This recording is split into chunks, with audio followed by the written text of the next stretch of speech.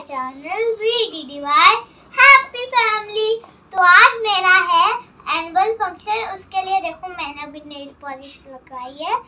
तो फिर जब मैं, जब मेरा मेकअप होगा, मैं आपको दिखाऊँगी। बाय बाय सो गाइज़ यहाँ पे याशी का मेकअप हो रहा है। मतलब ये याशी का मेकअप है जो इसके लगने वाला है।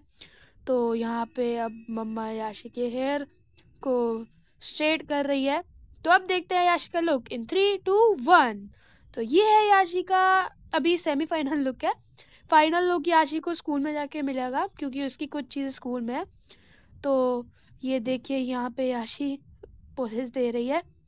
तो आप इंजॉय करिए याशी के बाकी के क्लिप्स को।